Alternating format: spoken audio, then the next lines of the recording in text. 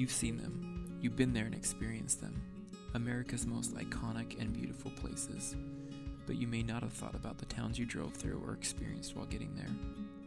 Gateway and natural amenity communities and regions are part of the lifeblood of America's outdoor adventures.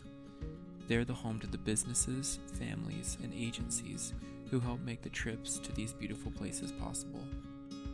But as more people visit and move to these places, the communities and landscapes surrounding them face new and pressing challenges. Overcrowding, traffic, the lack of affordable housing, and an increasing cost of living, to name a few. These are challenges you find in the big city, but you'll often find them in the small towns outside of our national parks too.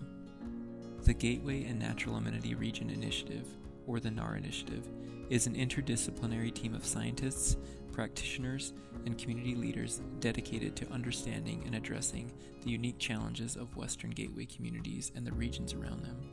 Our work is to assist GNAR communities preserve what is special about them and help them make the informed decisions needed to thrive into the future. The GNAR initiative does this through our three focus areas research, education, and capacity building. We love these places and the things that make them special.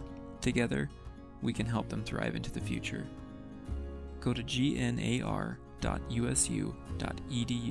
to learn more today.